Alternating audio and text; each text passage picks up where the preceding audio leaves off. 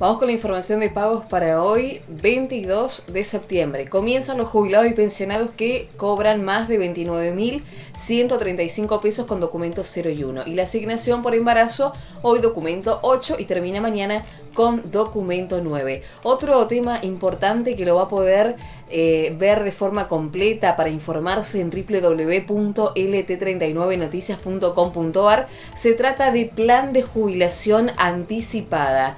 Se trataría de un texto que por este momento estaría en poder del jefe de ministros de la Nación y que por estas horas estaría siendo analizado. Es un beneficio que estaría enfocado en adelantar la edad jubilatoria a los 55 años para las mujeres y a los 60 años para los hombres. De acuerdo al documento que está en el despacho del jefe de gabinete, el requisito para acceder a la jubilación anticipada será contar con 30 años de aportes necesarios.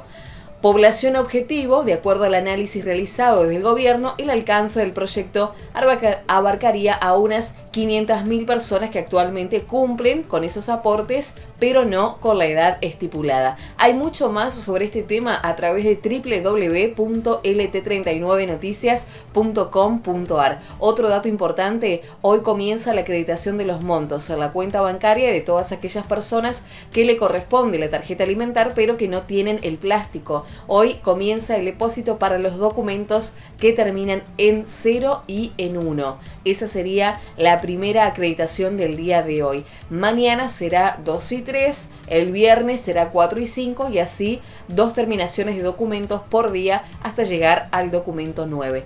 Esta sería la información de pagos para hoy, 22 de septiembre. Volvemos mañana con más información.